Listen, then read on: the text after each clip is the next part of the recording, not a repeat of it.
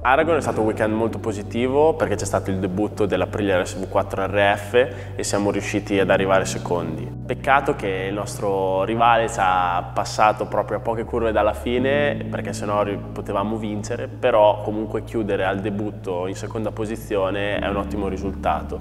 È stato un weekend molto importante per me e Aprilia.